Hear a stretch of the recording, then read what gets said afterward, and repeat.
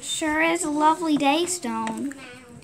Yeah, life has been more enjoyable since that yurt got out of Bark's brain. Yeah, but now that the yurt is out, he's been mourning for River. won't, won't, stop, stop. Yeah, so I guess it'll be a while before life gets back to normal.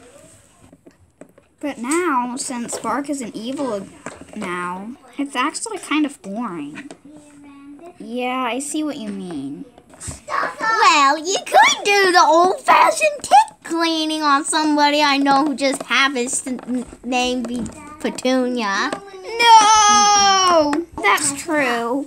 Pine just told me to tell you two that you had to um take out Petunia's sticks. Sorry, and I can't help you because I'm sorting herbs. Man, I hate doing Petunia's ticks. She always has the biggest, fattest ticks. Now you watch your manners, young un.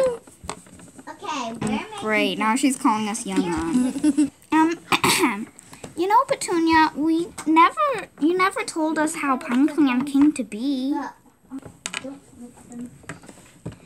Well, that's a long story, and I don't have time for it. Now get the ticks done. Please, we'll give you, we'll give you all our guacamole for a month. Hmm. Hmm. Fine. Yes, I never really liked guacamole anyways.